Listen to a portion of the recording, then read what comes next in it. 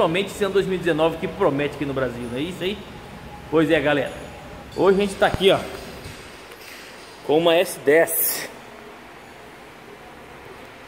O cliente pediu para Tá vindo muito ruído do câmbio. Tá vindo muito ruído do câmbio de dentro da casa de câmbio para dentro da cabine, para dentro do habitáculo, para dentro do cockpit. A gente vai desmontar ali, estamos colocando um reparo novo, uma almofada nova, uma coifa nova. Outro outro detalhe desse carro aqui é a caixa de direção.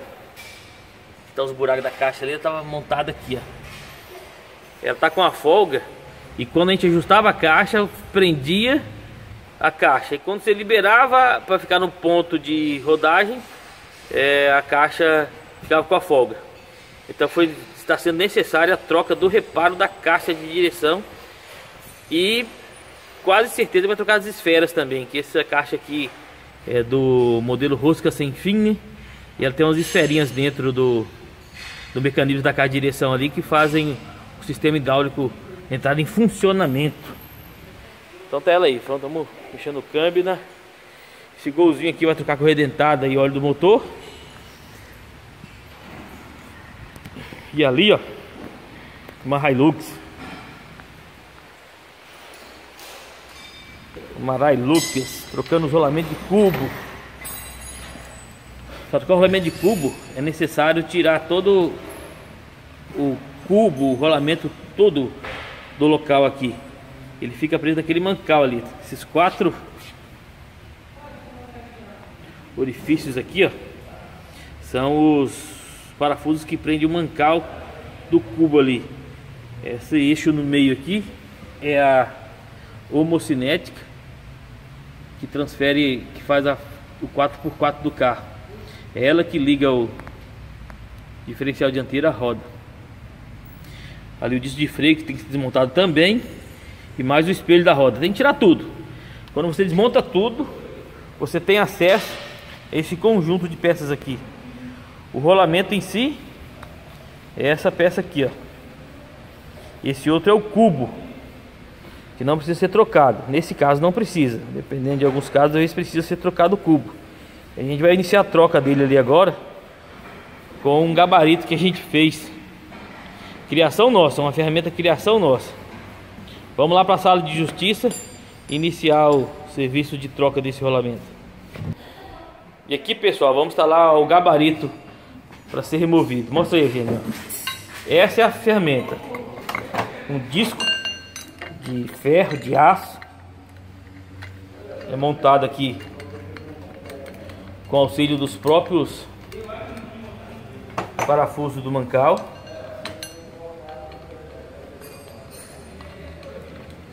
E aí ele é preso no na prensa.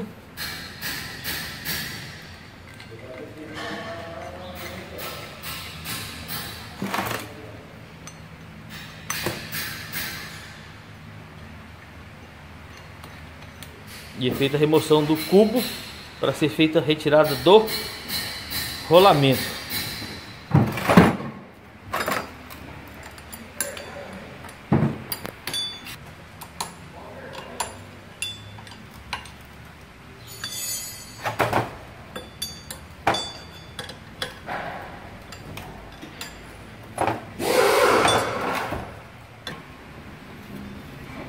Aí esse, essa ferramenta é montada na prensa. Coloca aquele cipo ali de ferro.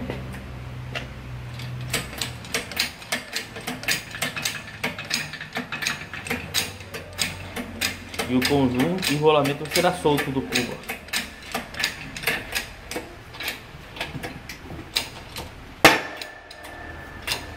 Esse estralo aí significa que ele soltou segundo estralo significa está soltando.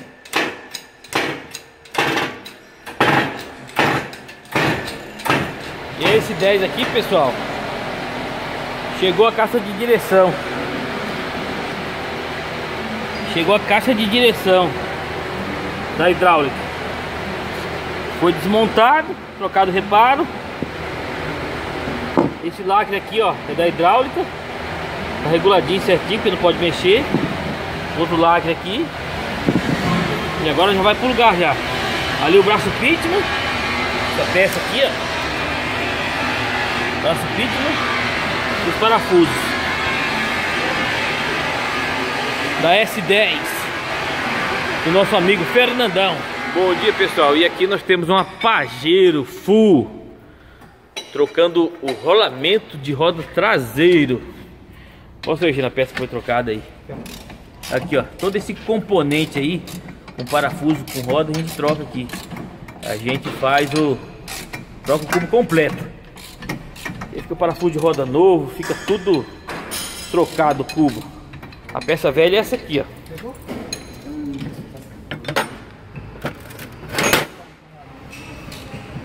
Tá vendo? No veículo, agora não vai dar pra gente mostrar, mas tinha folga e tá roncando. Uma folga bem grande. E você passa a mão assim, você vê que tá roncando. Então foi trocada essa peça.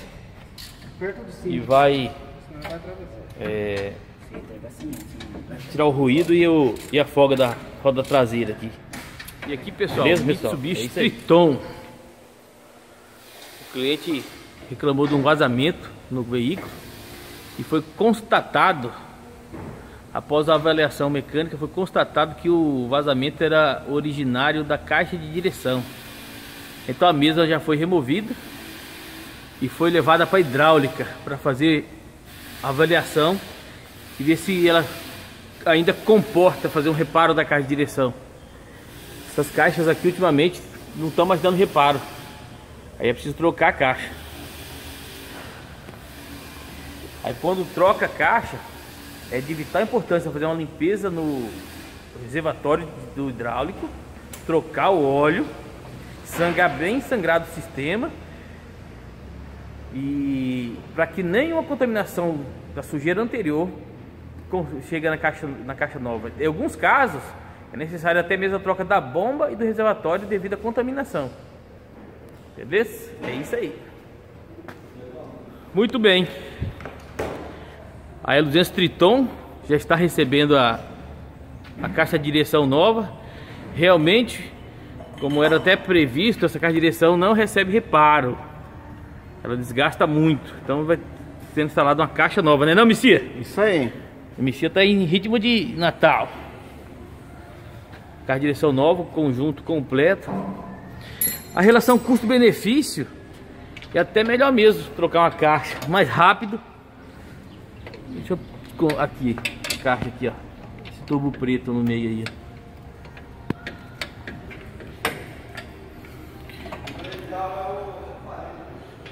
Então já está sendo feita a instalação. E temos aqui uma SW4 fazendo revisão. Revisão de viagem. Fazendo uma revisão. A SW4. O alojamento do filtro de ar que fica nesse espaço aqui foi removido para que seja feita uma lavagem e higienização. Os filtros do combustível já foram trocados, os dois. O filtro lubrificante também. Ali, ó, essa peça aqui, ó. Aqui foi trocado. E está esperando autorização para trocar o óleo do câmbio automático. E os amortecedores também são trocados. E aqui, pessoal, um Fiat Uno. Tá com falha, falhando no motor. Olha que coisa interessante. O carro estava andando razoavelmente bem. E após ter feito a manutenção no ar-condicionado, ele começou a falhar. Aí o cliente perguntou se tinha alguma coisa a ver. Mexer no ar com essa falha. Aí eu expliquei para ele o seguinte, falei, seu carro poderia estar com o motor trabalhando de forma precária, mas como estava original, ou seja, só tinha o motor para fazer funcionar, ele estava mantendo. Quando você consultou o ar-condicionado e o ar exigiu também mais do motor, porque todos esses acessórios, ar, direção, tudo isso exige e consome energia do motor. Aí o motor, devido ao funcionamento precário, ele começou a falhar. E agora a gente está vendo ali o motivo da falha e a devida correção. Beleza, pessoal? É isso aí.